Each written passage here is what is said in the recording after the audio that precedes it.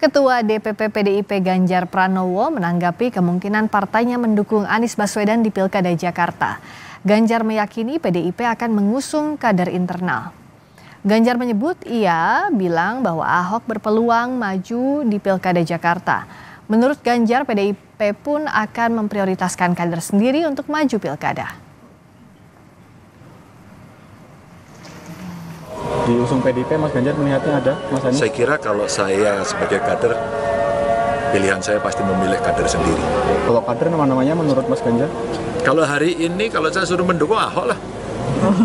Ahok Mas? Iya. Masih berpeluang Mas? Ya peluang punya. Makanya sekarang asesmennya sedang didorong. Kalau Enggak. Anda tanya kepada saya Ahok, Nggak resisten Mas? kenapa? Nggak resisten? Kan publik mulai tahu toh. Kasusnya dia kan dulu diceritakan. Bahkan yang ngedit siapa ya kan. Dan dia sudah menyampaikan. Saya kira Ahok punya integritas.